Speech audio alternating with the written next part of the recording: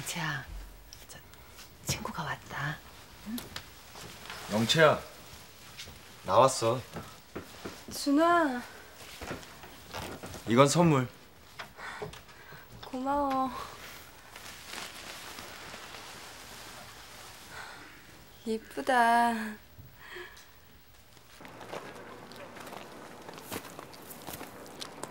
오랜만에 네가 오니까 학교 가다 화나다 막연채.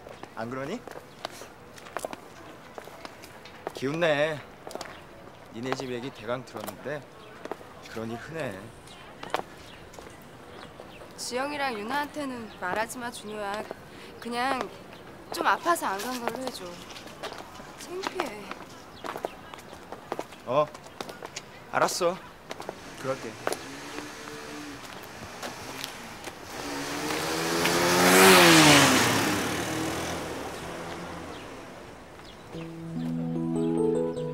너 그 형 생각하니? 어디 가버리고 없다며 곧올 테지 뭐 너 안 간 줄 알면 되게 좋아할 텐데 연락 좀 하지. 그 형도 어디 간들 네 생각 안 하겠니? 유나랑 지영이도 잘 있어? 몰라 나. 걔들 통화 안 만났어.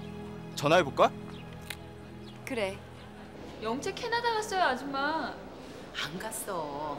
내가 영채 엄마 친구인데 영채 엄마를 급히 찾아야 해서 그래. 캐나다 갔어요. 정말이에요. 안 간 줄 아는데 왜 그래? 학생 좀 가르쳐 줘. 영채 엄마를 급히 만나야 할 일이 있어서 그래.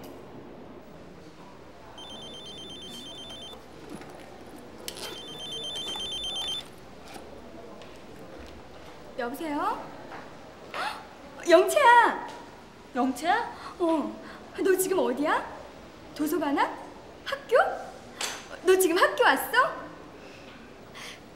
영채 지금 학교에 왔대요. 그래, 지금 바로 갈게. 어?